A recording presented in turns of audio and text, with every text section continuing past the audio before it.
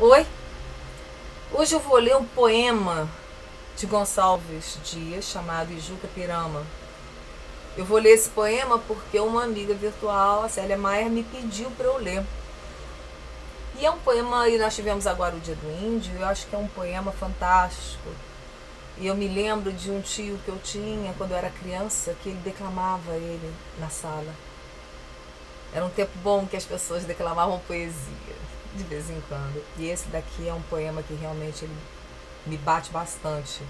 Eu acho que é uma das coisas mais bonitas que já foram escritas na língua portuguesa.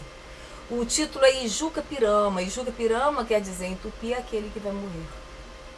E ele conta a história de um prisioneiro. E aí eu não vou contar não, que eu não vou dar spoiler, para quem não conhece.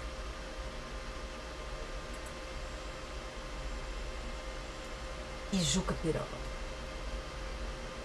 No meio das tabas de amenos verdores, cercadas de troncos e cobertas de flores, alteiam-se os tetos da altiva nação. São muitos seus filhos, nos ânimos fortes, temíveis na guerra, que em densas cortes assombram das matas a imensa extensão. São rudes, severos, sedentos de glória, já prélios incitam, já cantam vitória, já meigos atendem à voz do cantor. São todos timbiras, guerreiros valentes. Seu nome lá voa na boca das gentes, com dom de prodígios de glória e terror. As tribos vizinhas, sem força e sem brio, as armas quebrando, lançando-as ao rio, o incenso aspiraram de seus maracás. Medrosos das guerras que os fortes acendem, custosos tributos ignavos lá rendem aos duros guerreiros sujeitos na paz. No centro da taba se estende um terreiro, de onde ora se aduna o concílio guerreiro, da tribo senhora, das tribos servis. Os velhos sentados praticam doutrora, e os moços inquietos que a festa enamora derramam-se em torno de um índio infeliz. Quem é? Ninguém sabe. Seu nome é ignoto, sua tribo não diz, de um povo remoto. Descende por certo de um povo gentil, Assim, lá na Grécia, o escravo insulano tornavam distinto do vil muçulmano as linhas corretas do nobre perfil. Por casos de guerra, caiu prisioneiro nas mãos dos timbiras, no extenso terreiro.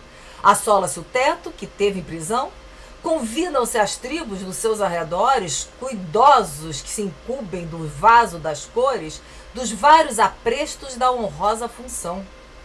Acerva-se a lenha da vasta fogueira, entesa-se a corda da embira ligeira, adorna-se a massa com penas gentis. A custo, entre as vagas do povo da aldeia, caminha o timbira, que a turba rodeia, garboso nas plumas de vário matiz.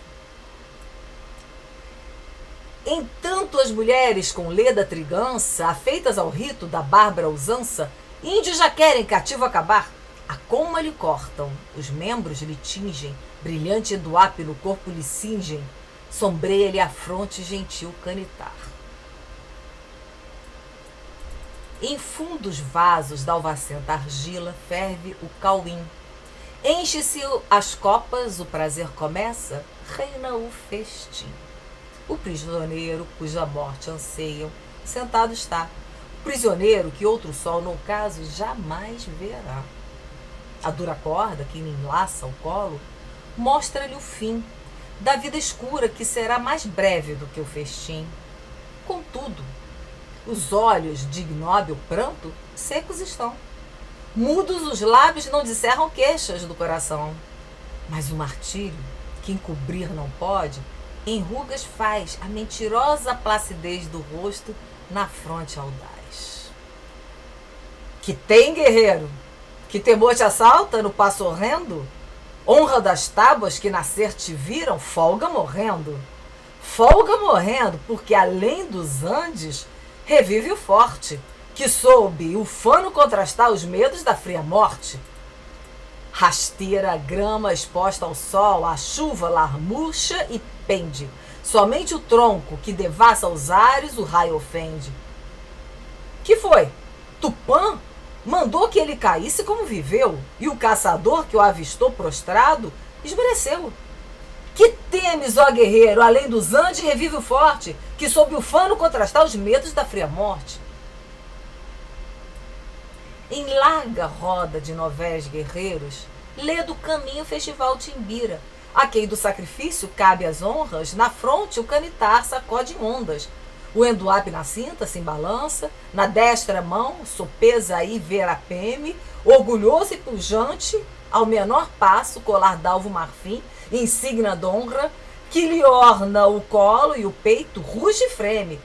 Como que por feitiço não sabido, encantadas ali as almas grandes dos vencidos tapuias, ainda chorem, serem glória e brasão de inimigos feros.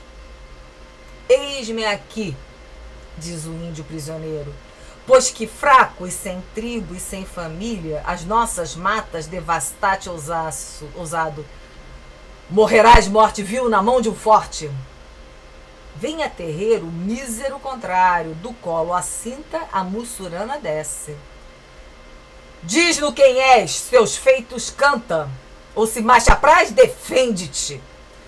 Começa o índio que ao redor derrama os olhos com a triste voz que os ânimos comove. Meu canto de morte, guerreiros, ouvi. Sou filhos das selvas, nas selvas cresci guerreiros descendo da tribo tupi, da tribo pujante, que agora anda errante por fado inconstante. Guerreiros, nasci. Sou bravo, sou forte, sou filho do norte. Meu canto de morte, guerreiros, ouvi. Já vi cruas brigas de tribos inimigas e as duras fadigas da guerra provei. Nas ondas mendaces senti pelas faces os silvos fugaces dos ventos que amei. Andei longes terras, Lidei cruas guerras, vaguei pelas serras dos vis amoréis, vi lutas de bravos, vi fortes escravos, de estranhos ignavos calcados aos pés. E os campos talados, e os arcos quebrados, e os piagas coitados, já sem maracás, e os meigos cantores servindo a senhores que viam traidores com mostras de paz.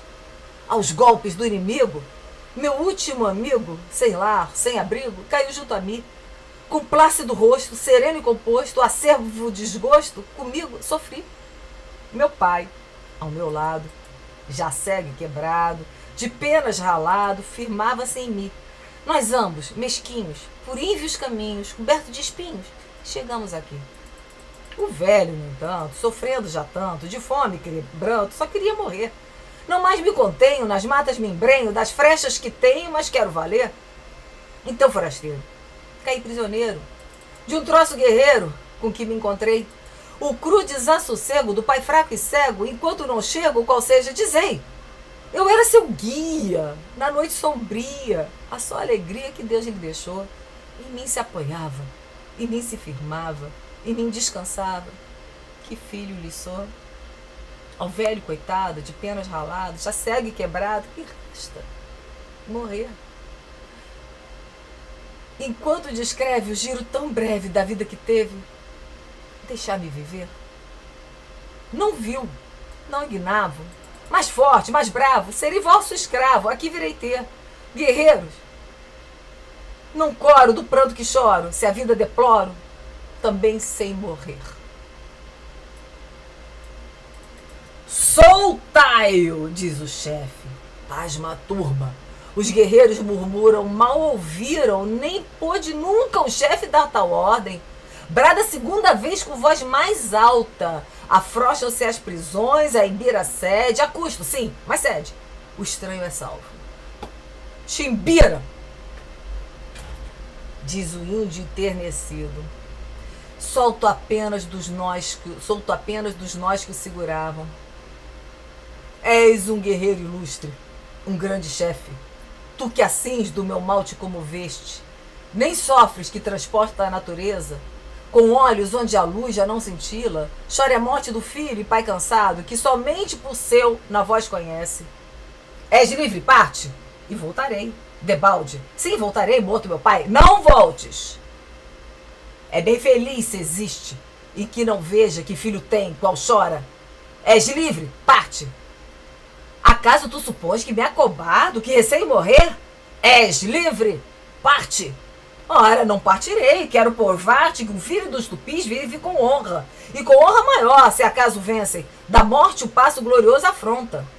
Mentiste que o tupi não chora nunca e tu choraste. Parte! Não queremos com carne vil enfraquecer os fortes. Sobresteve o tupi, arfando em ondas, o rebatendo coração se ouvia. Precípite. Do rosto afogueado, gélidas bagas de suor corriam. Talvez que o assaltava um pensamento. Já não.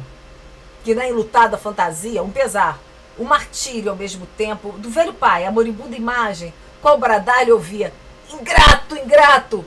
Curvado o colo taciturno e frio, espectro do homem penetrou no bosque. Filho, filho meu, onde estás? Ao vosso lado. Aqui vos trago provisões, tomai-as, as vossas forças restaurai perdida. E a caminho e já, tardaste muito. Não era nada o sol quando partiste, e frouxo o seu calor já sinto agora. Sim, demorei-me a devagar sem rumo, perdi-me nessas matas intricadas, reaviei-me e tornei. Mas hoje o tempo, convém partir já. Que novos males nos resta de sofrer? Que novas dores, que outro fado pior Tupã nos guarda? As setas da aflição já se esgotaram. Nem para novo golpe espaço intacto em nossos corpos resta. Mas tu tremes. Talvez do afã da caça? Ó oh, filho caro, um que misterioso aqui me fala, aqui no coração. Piedosa fraude, será por certo que não mentes nunca? Não conheces temor e agora temes? Vejo e sei. É Tupã que vos aflige, e contra o seu querer não valem brios? Partamos. E com a mão trêmula, incerta, procura o filho, tateando as trevas da sua noite lúgubre e medonha, sentindo o acre odor das frescas tintas. Uma ideia fatal ocorrer-lhe à mente, do filho os membros gélidos ao, apalpa, e a dolorosa maciez das plumas conhece estremecendo. Foge! Volta! Encontra sob as mãos o duro crânio, despido então do natural ornato. Recua aflito e pávido, cobrindo as mãos ambas os olhos fulminados, como quem teme ainda o triste velho de ver, não mais cruel, porém mais clara, daquele exício a grande imagem viva ante os olhos do corpo afigurada. Não era que a verdade conhecesse, inteira e tão cruel qual tinha sido mas que o funesto azar ocorrera ao filho. Ele o via, ele o tinha ali presente e era hora de repetir-se a cada instante a dor passada, a previsão futura e o presente tão negro. Ali os tinha, ali no coração se concentrava, era num ponto só, mas era a morte. Prisioneiro, tu, vós o disseste. Dos índios? Sim. De que nação? Timbiras. E a mussua, mussurana funeral rompeste dos falsos manitôs, quebraste massa? Eh, nada fiz, aqui estou. Nada! Emudece. Curto instante. Depois prossegue o velho. Tu és valente, bem o sei. Confessa. Fizeste o certo, ou já não foras vivo? Nada fiz, mas souberam da existência de um pobre velho que em mim só vivia. E depois? Eis-me aqui. Fica essa tábua na direção do sol quando transmonta. Longe? Não muito. Tens razão, partamos. E quereis ir na direção do ocaso. Por amor de um triste velho, que ao termo fatal já chega, vós, guerreiros, concedeste a vida a um prisioneiro. Ação tão nobre vos honra, nem tão alta cortesia vi eu jamais praticada entre os tupis. E mais foram senhores em gentileza. Eu, porém, nunca vencido, nem nos combates por armas, nem por nobreza nos atos, aqui venho e o filho trago. Vós os dizeis prisioneiros, seja assim, como dizeis. Mandai-vi a lenha, o fogo, a massa do sacrifício e a mussurana ligeira, em tudo o rito se cumpra. E quando eu for só na terra, certo acharei entre os vossos que tão gentis se revelam alguém que meus passos guie, alguém que vendo meu peito coberto de cicatrizes tomando a vez de meu filho de haver-me por Silfane. Mas o chefe dos timbiras, os sobrolhos e crespando ao velho tupi guerreiro, responde com torvo acento. Nada farei do que dizes. É teu filho, embele fraco, alviltaria o triunfo da mais guerreira das tribos. Derramar seu inóbil sangue, ele chorou de covarde. Nós outros, fortes timbiras, só de heróis fazemos pasto. Do velho tupi guerreiro, a surda voz na garganta faz ouvir uns sons confusos, como os rugidos de um tigre que pouco a pouco se assanha.